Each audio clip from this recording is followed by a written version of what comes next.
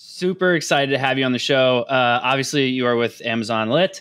Uh, I we've had tons of e-commerce sellers on the show. You are one of the first that we could probably comfortably say is uh, very well known in the space. Mm. You're all over the place, tens of thousands of Instagram followers, all focused on Amazon. You have a, thousands of YouTube. Like you're you're all over the place. So we can comfortably say you're a bit of an influencer in the Amazon space. Uh, I would love to obviously give you a minute here, tell everyone a little bit about your background, how you got where you are, uh, and then we'll we'll dive into uh, all that Amazon drama. It's always fun to talk about. Yeah, yeah, absolutely. So.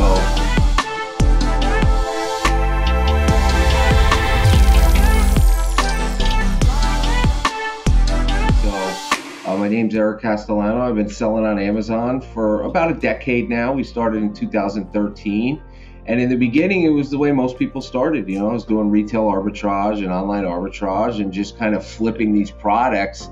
And I realized immediately that it's a lot of work in order to scale a business that way. So we we kind of looked for a space we could get into that would allow for more growth, and that space happened to be Amazon wholesale. Um, so when we started doing Amazon wholesale, we just took it and run with it. Um, mm-hmm. At the time, I was uh, in college, construction uh, management I was studying to be, and you know I was working part-time jobs, building homes and decks and doing renovations on people's homes, and I love that type of stuff. I still do a lot of it today, but it wasn't. It just wasn't generating the money I needed to make. So I, I went all in on Amazon. You know, I stopped everything else and just fully focused on Amazon. So, was there any type of specific product line you stuck to, or was it more of the product research, what's selling, what's doing well, and then just sourcing that and, and moving on from there? Yeah, so initially it was anything we could find at the big club stores like Costco, BJ, Sam's Club. Anything yeah. that we could find, either coupon or discounted or at a reasonable price where you could make some money. So, mainly, you know, beauty, health products, and grocery, which are still the categories we stick to today. Yeah. So primarily, those A are very competitive spaces. Yeah. Uh, and with the approach that you're taking, if you're you're going to big box stores and basically just reselling it from there, that margin's not massive. So no. are you you it's obviously a volume game. So what's yeah. what's some of your secrets? What's what's the approach that you typically take? Because obviously I know we'll get into the fact that you have Amazon lit, you have an entire aspect of your business now where you're showing sellers or people yeah. who want to be Amazon sellers how to do this. So I'm positive that you've narrowed this down to a pretty solid process. Yeah, yeah, absolutely. So early on, you're you're absolutely right, Andrew. Early on, our margins were very low because we were doing those club store purchases and retail store purchases. And we found that when we made the transition to wholesale, we were able to build relationships with these companies and capitalize on getting huge discounts, sometimes up to 25% off of wholesale pricing. So now we're even getting it cheaper than the retail store selling it, less 25% on some of them. So it creates a lot of opportunities. So it's really for us what, what allowed us to scale was the relationships with the distributors that we do business with. It's all about the relationships because yeah. if you have the relationship, they're going to give you a better price than they're going to give you the next person. Yeah. So is your tactics in terms of getting product out there, starting to sell, and is it heavily on the on the advertising side? I assume. Uh, no, no, we don't do. We spend very minimal on advertising. We spend about ten thousand dollars a month at about a five percent ACoS. Uh, so our goal is just finding products that people trust already, like Revlon, Head and Shoulders, Old Spice, Mitchum deodorant. You know, people products that people have been using for decades. They don't need to see an ad; they're going to buy it already. Yeah. So you're basically catering off of, or I should say, you're leveraging pre-existing brand awareness and yes. just kind of going after that. So the advertising side really is kind of pointless because you're going to show up organically pretty high up there regardless. Yeah, absolutely. There's there's definitely some SKUs that we got to pump some advertising spend into, but I'm comfortable yeah. doing that because the rest of the business pretty much sells itself. Yeah.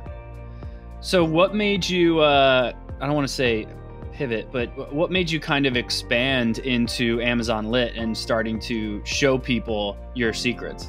Yeah, yeah, definitely.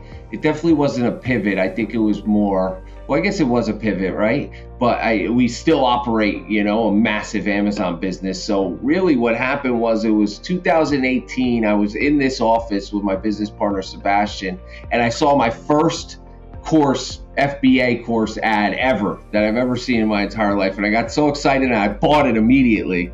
It was three thousand dollars. I'm not going to say who it was from.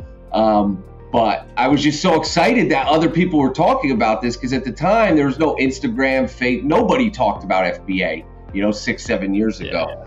Um, so I bought it, and within about five minutes of watching it, I found like five or six things that were completely inaccurate, and I was very disappointed. You know, I was very disappointed, and and I and that night, Sebastian and I we looked at each other and we said we're going to build the world's best Amazon FBA program and push it out to the community. And we're like, what are we going to call it? And we threw some names around and came up with Amazon Lit, and it's been like that ever since. So, what uh, the concept of taking courses and going that whole approach and convincing people to sign up for them. It, there's so many people out there that do stuff like this now. And obviously, you've done a fantastic job at standing out from everyone else because you can tell by the following you have and the results that you've been able to drive. But even from the course alone that you started to develop, what is it that you did that's kind of showcasing, like, here's why all those other courses are more or less BS and, and you want to you want to check out ours? Yeah, well, I, I really think the proof of concept, you know, it's not just like it's not like I used to sell on Amazon or one time in my life I sold on Amazon. Yeah. Like I I still today operate one of the largest wholesale Amazon businesses in the world. You know, we're top 50 Amazon sellers. So like that proof alone says a lot. But I think what really separates us is we provide weekly coaching with our group that me and myself and Sebastian are on every single call, you know? So you're not just getting a course and saying, here, figure this out. You're getting guided through the course and guided through the program by Amazon professionals. So it's completely different than what most people are offering. So so let's let's kind of get into into a little bit of opinionated stuff here. Yeah. So so there there's you know there's theories around obviously since uh i mean as a recording of this it's it's middle of may i think it was uh, uh i want to say it was in february when amazon increased their price uh their cost again but i think it was another 5% hike or something like yeah. that and obviously amazon's consistently increasing pricing obviously with inflation and everything so is everyone else. But you know amazon and any marketplace really consistently becomes more and more expensive and you get a lot of sellers that are doing everything they can to kind of diversify and things like that. And i know that uh, you know we had spoke earlier it's a 90% of your business is through amazon 10% you're still doing private label elsewhere.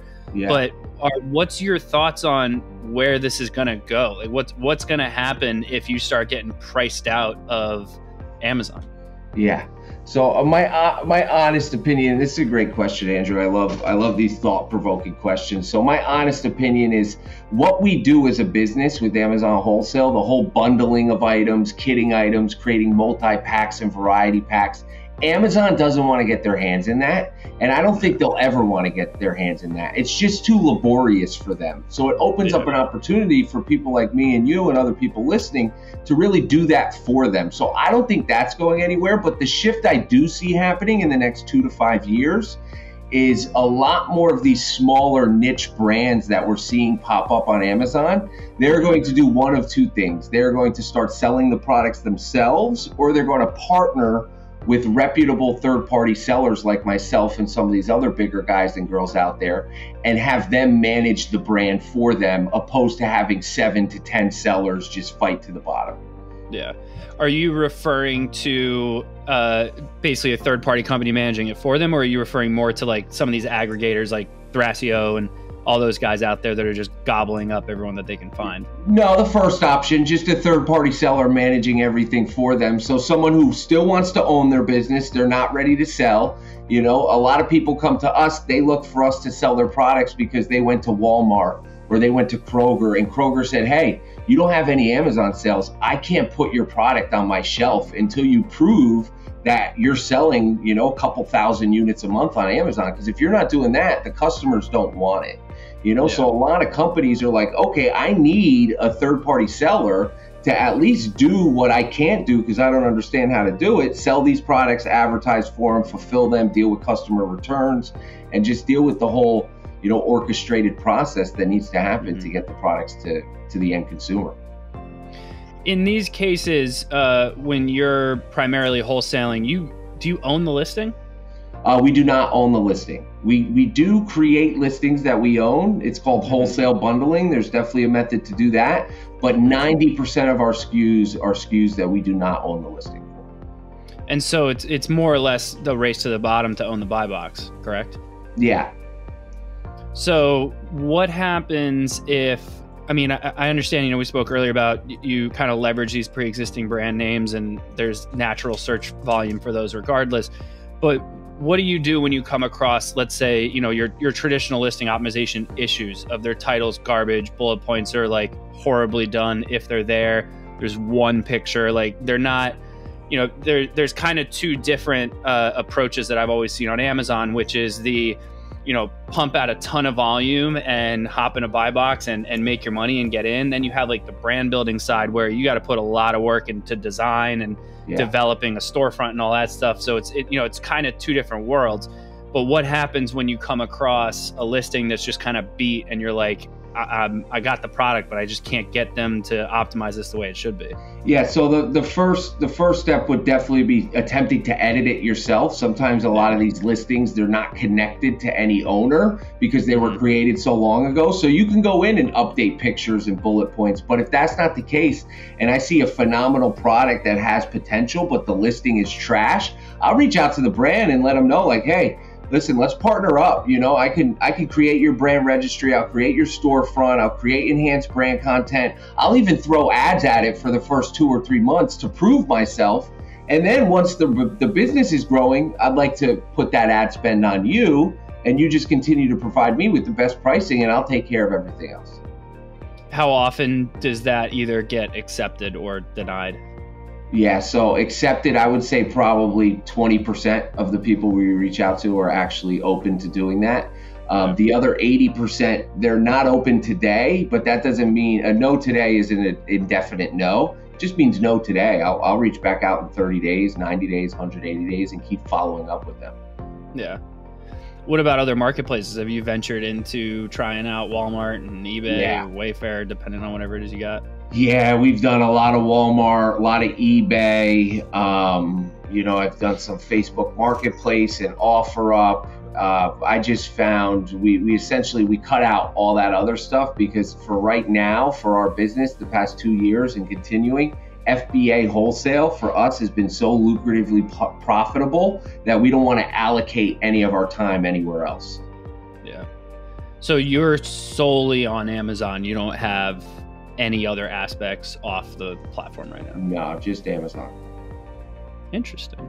And is there and so you do have uh, your own private label, correct? Yeah, we have about six different private label brands. So have you ever considered going into the aggregator business and you know because there's countless of them now I, yeah. I can think of how many there are but like have you thought about now that you're private labeling more starting to look into these other brands that are private labeling doing decent on amazon starting to acquire them uh, you know what? It's something i haven't considered really just due to time. Uh, but mm-hmm. absolutely that's not out of the question. It's definitely something we would get into in the future 100% you know, what's your theory on those aggregators? Uh, i think people love them some hate them yeah, listen, I don't really have an opinion on them. I think they're doing what they need to do. Like people want to sell their brands, and there's people who want to buy them, so they're making it happen. You know, they're getting the money together and they're making it happen. So I think it's great, especially for a regular Joe or, or Stacy who literally built a private label company out of their basement and sells it for seven figures two years later. It's like so amazing that that can happen. So I love that aspect of it. Um, and also, I just read an article that Scott Needham shared, or maybe Derek DeMayo, one of them shared. Uh, but like the aggregator space has like dropped 60% or 70% just in the past couple months, which is mind blowing to me. Yeah. As of uh, what's today's Thursday? I think it was last week. Um, actually, no, I know it was last week. I think it was last Tuesday. Thrasio uh, ended up cutting. I think it was like 25% of their staff. Yeah. Uh, there was a I saw a bunch of people on LinkedIn and all that fun stuff with like, people trying to help them out and find new jobs. So all of a sudden, the e-commerce market just got slammed with a ton yeah. of people that are I assume are amazing at what they do, and so they're up for up for grabs right now. Yeah. Um, what's what's your thoughts on you know e-commerce has been I don't know the number off the top of my head I should have it open but it, it the actual growth of it has slowed down. I mean my theory is obviously post covid we're not yeah. you know it's not what it was. We obviously sped things up really fast but do you foresee e-commerce to uh, continue to slow down or you think it's going to kind of pick back up and start to grow again no, it's definitely going to continue to pick back up and grow again. You know, just watching the trends over the past 10 years being in the industry, like it's had slow points where it goes down for a couple months, but always at the end of the year, the the data represents that it's increasing. Just more people are shopping online out of convenience, mostly because it's super convenient to shop online, and then it's just super easy, you know? Yeah what are you so uh, you know with amazon lit you mentioned you have everyone that, that gets to join in on these um, different coaching calls and things like that i imagine you correct me if i'm wrong a lot of the questions right now are on supply chain issues yeah. and inflation and amazon pricing increasing and like right now it does kind of feel like the world is caving in on a lot of people. There everyone's in that initial panic as you know the market st- starts to take a turn. What are you advising people to do during this time? Yeah, so for for wholesale specific businesses, I'm advising them to reach out to more vendors and suppliers. The best way to combat supply chain issues is to diversify the opportunities that you're able to purchase products from. You know, so instead of having access to 10 vendors, if you make it 50 vendors, the chances of you running out of products become much lower. So I encourage people to not only reach out through email and phone calls, but also go to trade shows. There's trade shows all over the country, Fancy Food Show in Manhattan next week. Um, Sweets and Snacks in Chicago, Expo East, Expo West, ASD. There's so many trade shows where you can go build relationships in person. So supply chain doesn't really affect us where we are, but I know for a lot of the newer guys and girls, it's affecting them greatly. Yeah. You mentioned earlier with uh, in I guess to the to the point of those trade shows, you uh, beauty, grocery, and um, there was a third. I'm sorry, what was the third? Um, it was health, personal care, beauty, grocery. Yeah, yeah. Those are yeah. So why why those categories? Um, I, I just feel like their search volume on Amazon, like when you look at ranks on Amazon and you analyze the rank for, let's say, baby or patio and outdoor versus grocery or health and beauty, the product in baby needs to be ranked much much lower for it to get the same volume. Let's say a product in baby is ranked a thousand. The equivalent sales in grocery would be a product ranked 10000 you know so that means the catalogs in those in those categories are much larger and the mm-hmm. skus that are ranked well are selling much faster so it just creates a lot of opportunity to get high volume sales consistently on a wide variety of skus and now that I think about it, based on every category you just said, it sounds to me like almost everything is a consumable. So you're pretty much getting repeat purchasers. Yeah. Right? yeah. Whereas in baby, sometimes you buy a stroller, you buy it once, you don't need it again. Yeah, yeah, absolutely. Some of our non consumable products are usually more expensive. You know, we sell a lot of like uh, pool heaters, and we even sell like chicken coop doors, so, like crazy things that you'd never think of. But you're right, we might only sell 20 of those a month, you know. But a two pack of Head and Shoulders shampoo, we're selling 500 a month, so it's yeah. it, it weighs out evenly at the end of the day. What's your tech stack looking like? You, you you got all these rankings set up. You you clearly have probably hammered out your top pieces of software that you usually suggest. So what uh what do you guys usually go for there? Yeah, yeah. So we actually, it's funny you talk about tech because we have five in-house web developers who are mm-hmm. always, you know, creating new programs and protocols and calls to all these different softwares. Because my experience is, I, I use three softwares. I use Keepa, I use AZ Insight, and I use a UPC scraper like Scan Unlimited or our own Source Correct. Those three softwares are really all you need for Amazon wholesale. But the issue is when you start to scale, you have issues with inventory management in your warehouse. You know, so it's like, how do you deal with that? There's no out of the box software to do that. So what we did was we hired web developers in house to kind of build these systems for us and also to create processes where they can talk to each other because there's no out of the box software that really helps wholesale sellers like us. That sounds like that's probably your next business venture, am I right? yeah, yeah, 100%. The next business venture will be scaling out Source Correct to, you know, a couple thousand u- users and then selling it because my honest opinion, not just because we created it, but it's the best UPC software in the in the market. 100%. So what's your what's your end game with the business as a whole? Is it to eventually sell? Yeah, yeah, we would we would love to sell. You know, we got a pretty hefty offer um, right before COVID started, and I'm so grateful we didn't take it because immediately after COVID, our business tripled. So mm-hmm. it's like you know we could have got out then, uh, but we we we were ready to, and it, and it worked out perfectly. So yeah, the goal would be you know a couple years down the line, five six years down the line, to to make a hefty exit.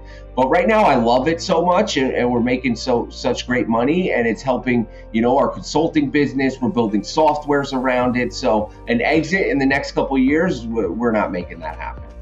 Yeah you're still a young guy. You still got a lot of time to keep growing it too. Anyway. Yeah. Yeah. What uh so when you're when you're someone signs up amazon lit you kind of go through the whole coaching side. Do you usually ex- like talk to them about what their exit strategy is? Do you expect them to have one before they get started? What what's your thought process behind that? No you know what? Most people when they're most people who join our program or get started on selling on Amazon, they're not thinking about an exit strategy. They're just trying to make an extra $5,000 a month.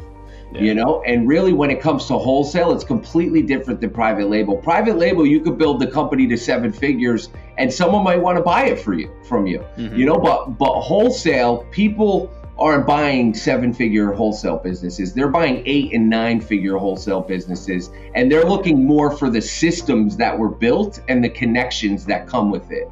You know, they're not just looking to take over your company without having the proper technique to manage it and also the relationships to continue to grow it. It's a very interesting point. I never thought of it that way. It's, yeah. That does make a lot of sense because, you know, we I, I, talk with private label sellers all the time, and yeah. you, you, have a bunch of different ones. You have the ones that kind of like are really focused off Amazon and have Amazon as kind of a secondary.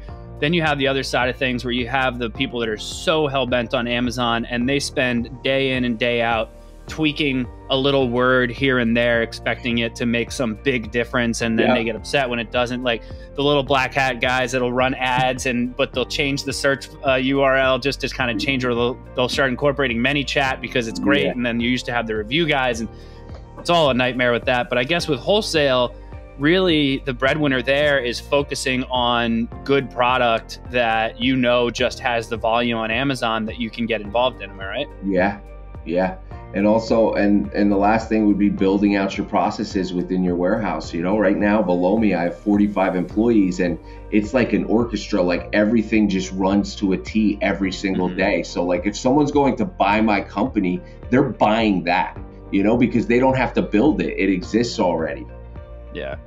So really you could almost say that from a wholesale perspective that you really have to be a operational genius because yeah. the marketing is kind of already done because you're leveraging these pre-existing brands brand awareness so as long as you can operate at that kind of scale with that kind of volume that's really all it takes to i don't want to say that's that really belittles it but i mean like that's that's basically what it takes to be successful on a wholesale side right? Yeah absolutely. It's all about the operational tactics and standpoint because if you don't have that then it's very confusing in your business and, and the business that don't have that are losing a lot of money you know at scale you could be talking tens of thousands if not hundreds of thousands of dollars a year just by inefficiencies in your workplace. Yeah. Pros and cons of wholesale versus going private label. Um, so private label cons would be right now shipping is crazy expensive Mm-hmm. Um, you know, to get a private label product off the ground, figure from inception to first sale, it could be up to six months, you know, by the time everything's active, the listing, the, the test order, all that. Some pros for private label, you can exit it. You know, you don't have to build it to eight figures to make a pretty hefty exit. Um, also, a, another con is just all the black hat tactics. You know, I don't know if you know Derek DeMayo, but he's a good friend of mine, and he made a massive exit. And and he's just we talk all the time, and he's like, Eric, I don't think I want to get back into the private label space because these these Chinese competitors are really just doing everything to kill me right now. Oh yeah. You know, and it's it's mm-hmm. scary. It's a scary place to get involved, but there's a lot of upside because I know dozens of people who've made healthy six and seven figure exits from building private label products. So I think that's the upside. The downside is just the time it takes to do it. And then a lot of times by the time the product gets here, you know, some other competitor came in and just is crushing it and now you're screwed. Yeah. Um, pros and cons for wholesale. The pro, you can literally start selling products tomorrow. Um, so it's very easy to get started. You can start getting your first disbursement check in a couple weeks. Um, all the products are sourced domestically. A con would be there's competition. So if you're not doing your product research properly or you don't have the proper relationship set up, you would be essentially doing a lot of work for a little bit of money. Mm-hmm. You know? Interesting. So I imagine a lot of this stuff is is basically things that you teach within Amazon Lit. Am I correct? Yeah, yeah. So I sign up for Amazon Lit. Walk me through what that whole process is like. How how do I get how do I get started? What's some of the the tricks? Like what what is the benefit of signing up for this program? Yeah. So First of all, nobody gets into the program without having a conversation with me first. The reason why is I'm like the gatekeeper to the community. I don't want anybody in the community who's just trying to buy a course to steal information or to bring down the community. Morale is super important.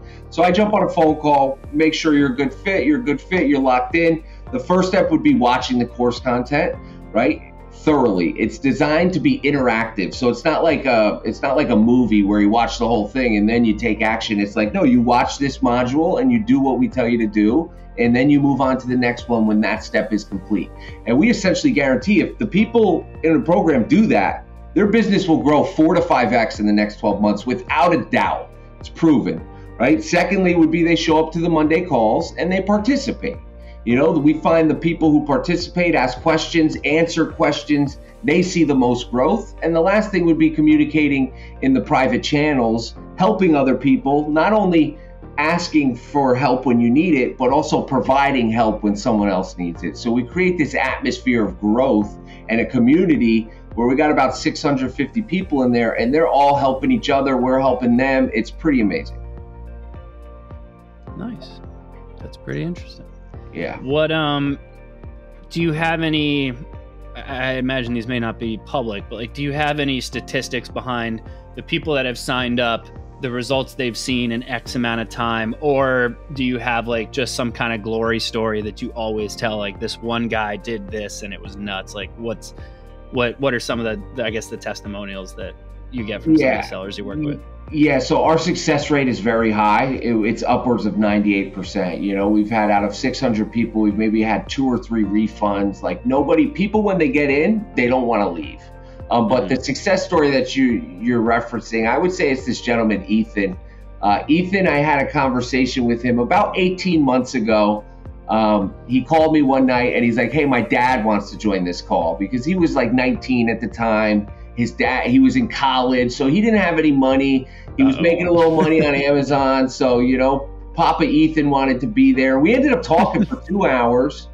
He joined the he joined the program and this guy just hustled it out. He grinded it out. You know uh, 18 months later as of about two or three months ago he's now doing 13 million dollars a year on amazon which is truly mind-blowing. He joined our inner circle which provides you know annual access to us where we fly out to his facility. We were just in Maine a couple weeks ago helping him optimize it in person. So like it's people like that, right? That just keep moving up our value ladder. Like they watched a YouTube video, they joined our course, they joined our inner circle, and now their businesses are a thousand X from when we started. Like that's what gets me excited. And that's why I continue to help as many people as I do because I love those stories, you know, and that's just one of dozens, if not hundreds, that I have. That's pretty crazy. That's uh, you said 18 months. Yeah, 18 months. Huh. Dude's an animal. That's insane. Oh man, that's nuts. Eric, super appreciative for having you on the show. I don't want to take up any more time. I know you're super busy. You have like billions of businesses to help run, but I'd love to uh, to give you the opportunity to tell everyone where they can hear more about you and Amazon Lit, all that fun stuff, and we'll wrap it up. Yeah, absolutely. Um, Instagram, Amazon underscore lit. Check us out as well as YouTube. Um, and if you got any questions, just send me a DM. My messages are always open. I respond to them, so I'm more than happy to help. Andrew, it's been a pleasure, my friend. Look forward to doing this in the future. Appreciate your time.